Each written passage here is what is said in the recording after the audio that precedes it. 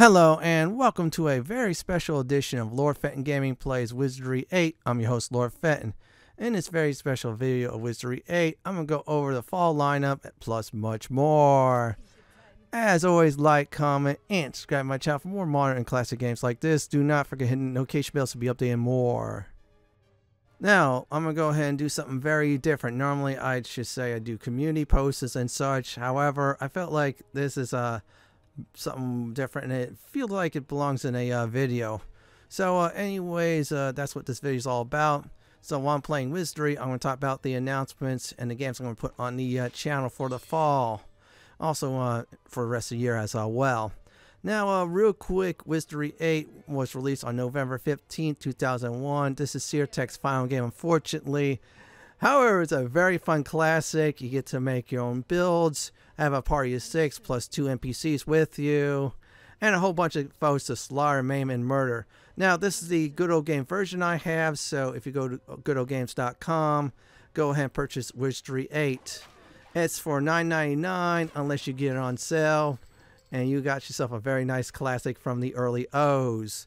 That's about it for uh, this part of this uh, video. Let's go ahead and talk about the first game on the list. The very first topic is Star Wars Outlaw. So I was about to do a full playthrough guides and all that. However, there's other games that definitely caught my eye. And besides, I want to catch up on another game that's next. Uh, so what I'm going to do with this game, however, is when it's out, I'm going to go ahead and uh, make some shorts. You heard me right. I'm going to just do it like I did Robocop Rogue City. That was fun making shorts. I'm going to do that with Star Wars Outlaws. So it could be anything from some poor stormtrooper dies, someone gets screwed over. If there's a game with evil alignment, oh, I'm going to be making nothing but evil alignment stuff. Now, if there's any bugs and glitches, I'm going to have fun with that as well. So be sure to look out for Star Wars Outlaws and Shorts, unless I see something that really catches my eye. So let's go ahead and talk about the next game on the list. Now, next on the list is Ultima 6 The False Prophet. I was supposed to do this earlier this year, however, Thanks to two big games, Baldur's Gate 3 and Final Fantasy VII Rebirth, yep, I couldn't do it at all. Instead, I'm gonna have to do it after Star Wars Knights of the Old Republic 2. So all those guides and builds for now that are done, I'll definitely do it. Don't worry, I'll come back to uh, Star Wars Knights of the Old Republic 2 on the builds when it's time once again. I get a nice break. So yeah, here's the deal about that. I'm gonna be transferring my character. You uh, guessed it, everyone, from Ultima five you uh, to uh, six. You're gonna see a full transfer. I'm still gonna have fun with that. The cutscenes, if there's any, especially the beginning ones. And uh, last but not least, of course, I should say, is uh, definitely have a good time kicking some serious uh, butt. Plus, uh, check out the story. Things are always not what they seem in the Ultima series, so I'll have to definitely uh, remember uh, that. It'll be exactly like I uh, did with uh, Ultima 5, play it all through, Hopefully, uh, I don't get interrupted this time and uh, stack it with the other games like I did last year with Baldur's Gate 3, though. And uh, that's about it for uh, Ultima 6. I'm going to go ahead and do the next announcement after I level up Wookie. Yes, I named the Mook character Wookie. He looks like a Wookie, right? Seriously, look at that Wookie. Still, that's a reference to Star Wars. So let's move on to the next game. Now, next up on the list is going to be once again only short form unless otherwise noted. In other words, community posts or uh, whatnot, even my socials, is Assassin's Shadows. Uh, yeah, this time I am not 100% on the uh, game. Yeah, there's some uh, stuff I did like, some stuff I didn't like hearing. Yeah, like for example, when you climb to the top, no more panoramic view. Always thought that was great. It was a nice scouting, just like the old Assassin's Creed games and such. Yeah, that was part of a turn off. I didn't mind the characters though, because it's a samurai slash ninja era, which is uh, very nice and such. I didn't mind the uh, main uh, characters at all too, just um, not completely sold, so I'm just going with my uh, gut. Once again, it'll be uh, shorts if I uh, find any guides, like for example, like I did with the ones to find materials, yeah, I'll definitely go for that, even if they have it in this game. If not, it'll be shorts at least. So I'm going to go ahead and talk about the final game on the list. Last but not least on the list is Dragon Quest III HD 2D Remake. Oh yes, I'm uh, playing that now. This time it's going to be a different on the platform I'm playing on. I'm playing on actually on Steam. So yeah, I'll be advertising on those videos on there to take advantage of that. Also get people into the Dragon Quest series. I was about to do two, most likely after Ultima 6, but yeah, uh, guess what? I heard about this game, so I had to put off those plans.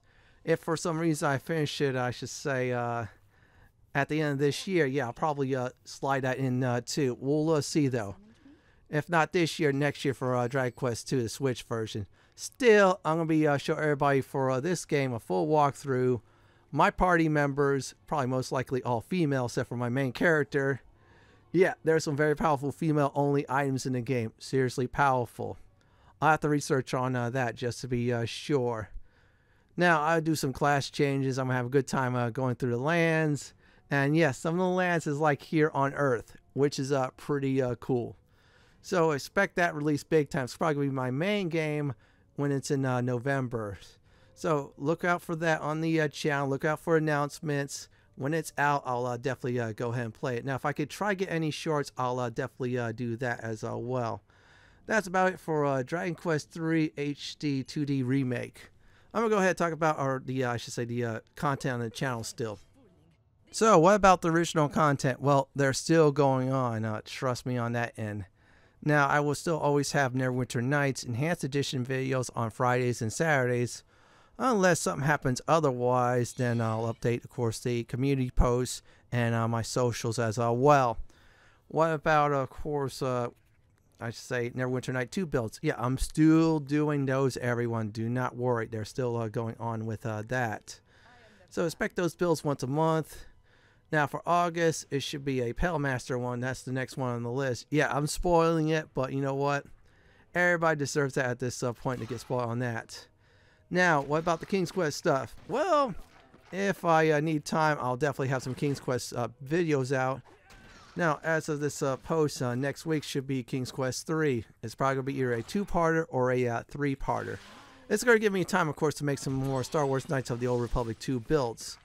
What about Star Wars Knights of the Old Republic 2? Well, after I do the six uh, main character build playthrough, I'll take a little break, but if I feel I have enough time between, I say, Ultima 6 and, of course, I should say uh, Dragon Quest 3 HD 2D uh, remake, yeah, then I'll go for those as uh, well. Anything else on the list that's a normal staple, I'll do as well. If I could uh, get that one patch as an evil patch for Baldur's Gate 3, I'll start on the uh, side uh, that Baldur's Gate 3, the evil version, yeah, the uh, Oathbreaker one. Yeah, I call it the D&D 5.0 version of the Blackguard. Maybe, maybe not, but still, that'll be probably my last build for the game. Other than that, though, yeah, I'll uh, keep the original content going and uh, more. And yeah, this is my uh, fighter who's a lizard man. Enjoy the look of that uh, lizard man, real ugly. Anyways, that's about it for uh, game announcements. Now, this is it for my 2004 fall lineup and more while I'm playing Wizardry 8. So, uh, if you want to get this classic, once again, go to goodoldgames.com. Click on the link in the description, purchase the game, then go on your socials and tell them that Lord Fenton sent you there to buy this wonderful uh, classic. Thanks for watching, everyone. Have a great day or night, and do please stay safe. Please subscribe to my channel for more classic and modern Dungeons & Dragons walkthroughs, builds, guides, and more just like this. If you like what you see, then uh, go ahead and pick my suggestion on the upper left-hand corner or YouTube suggestion on bottom left-hand corner. I'm going to go ahead and relax in this nice chair.